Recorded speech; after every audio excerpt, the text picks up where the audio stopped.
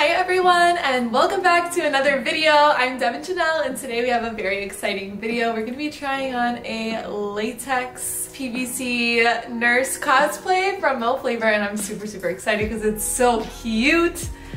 But before we get started, please don't forget to subscribe, turn on post notifications, and like the video.